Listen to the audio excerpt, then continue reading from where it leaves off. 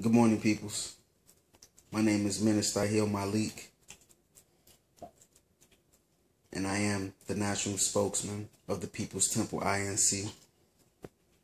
Before I start my speech, I would just like to say I have never done nor said anything in my life that I wasn't prepared to suffer the consequences for. With that being said, I bring to you the struggle. First and foremost, I would like to give praises to the Most High, God Almighty. Without Him, it can be no us. Without faith in Him, we as a people are lost. And I don't know about you, but the struggle for the 22 million plus Afro Americans in this country, in this day, can I go another day without the preparation to prevent such a struggle? It's going to become a time where revolution is indoctrinated in the hearts and minds of the Afro American society. I can't imagine a better ending to an already fixed agenda. In no shape, form, or fashion am I a racist. I actually despise racism. In fact, the same struggle we're faced with today is the same struggle our ancestors faced 147 years ago. The slave trade inflicted tremendous suffering on millions of Afro Americans. It's not a factor of being free or being unfree. Because if you know like I know, then you know that the price of freedom is death. Knowledge itself is all we got.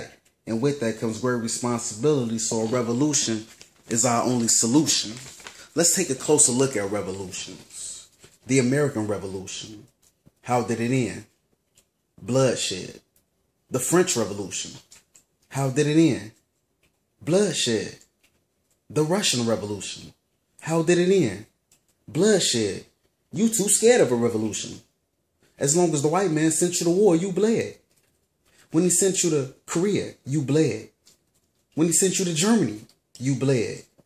When he sent you to Vietnam to fight the Vietnamese, you bled. When he sent you to Iraq to fight the Iraqis, you bled. But when it comes to our brothers and sisters being murdered, you ain't you run. You ain't got no job.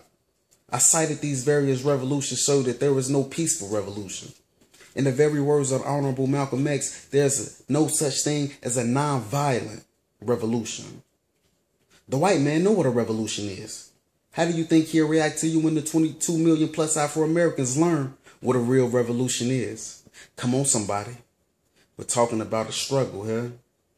It's not about freedom, justice, or equality. It's about a system that's designed for us to fail. In fact, us as Afro Americans need to come together and put aside our differences. It don't matter if you're a Christian, a Methodist, or a Dudeist, or a Buddhist.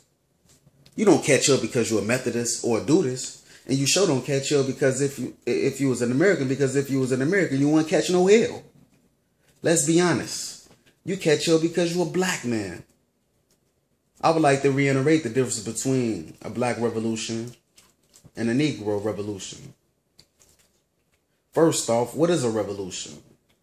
The motive of a revolution, the result of a revolution, and the objective of revolutions. You may change words or change your train of thought.